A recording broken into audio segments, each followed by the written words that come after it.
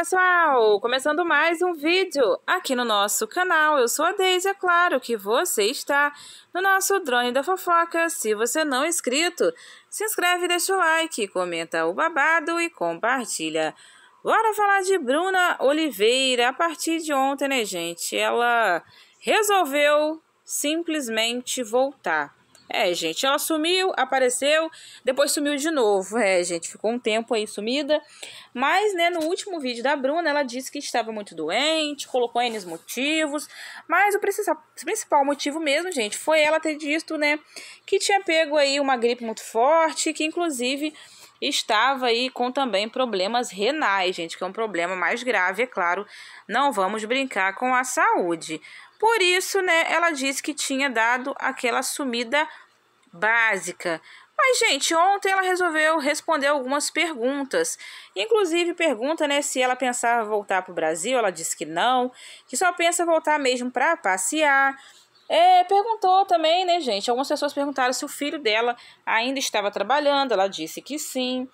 Perguntaram também, gente, é se eles já estão adaptados a Portugal, ela disse que gosta muito de lá, né? Que inclusive ela não achou que fosse se adaptar assim tão rápido. E a pergunta que não queria calar, o porquê mesmo de verdade que ela sumiu aí, né? é, das redes sociais. Ela disse, gente, que aconteceram muitas e muitas coisas. É, gente, muitas coisas.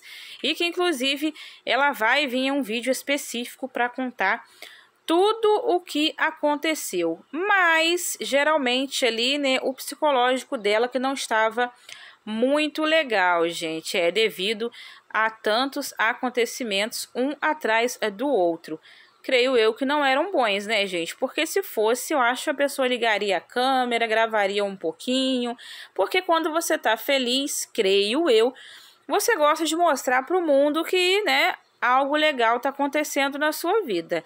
Bom, realmente a gente não sabe, né, gente? Isso pode ter sido uma pequena crise no casamento ou crise financeira mesmo, afinal de contas, eles estão lá, né, gente, há um ano e pouco pagando aluguel, porque eles não têm casa própria. A Bruna, gente, sempre tirou uma rendinha boa do canal, mas tinha parado, ou seja, a casa ali estava sendo sustentada pelo Marquinhos e pelo filho dela, né, gente? Que óbvio é um jovem, gosta de comprar as coisas dele. Então, praticamente, será que a família poderia contar com o dinheiro do filho? Realmente eu não sei. Mas o que pode realmente ter acontecido, né, gente, para Bruna ter dado essa sumida, depois de dizer que ficou doente, que foi por isso que sumiu.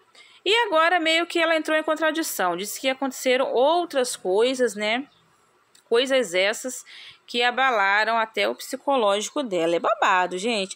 Mas eu quero saber, é claro, a opinião de vocês. O que vocês acham desse babado. Deixa aqui embaixo e até o próximo vídeo.